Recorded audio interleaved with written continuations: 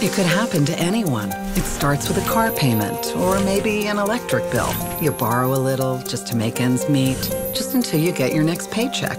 It sounds easy.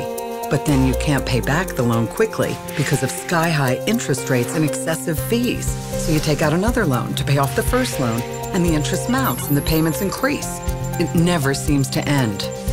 That's how payday lenders trap hardworking Americans in a vicious cycle of debt while they make billions of dollars every year. Now, President Obama is fighting for tough regulations to crack down on payday predators. He wants to end the debt trap once and for all. But Florida politicians are standing in the way. They have their own quote reform plan, but it's full of holes. Under the Florida model, the average borrower pays more than 300% interest and ends up taking out nine loans a year. Worse still, one in three borrowers takes out a dozen. What gives? Predatory lenders give millions to Florida politicians.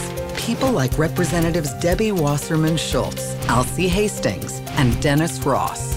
In fact, a new report from Allied Progress reveals that the payday lending industry has given over $2.5 million to Florida politicians since 2009, $50,000 to Debbie Wasserman Schultz, $110,000 to Alcee Hastings, $31,000 to Dennis Ross. The list goes on and on. Even the frontman pushing the Florida model is a former congressman who received $119,000 in campaign cash from predatory lenders, more than any other member of Congress from Florida.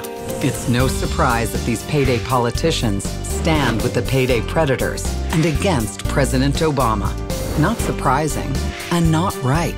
We need real reform on predatory payday lending. Visit alliedprogress.org/payday to learn more and take action.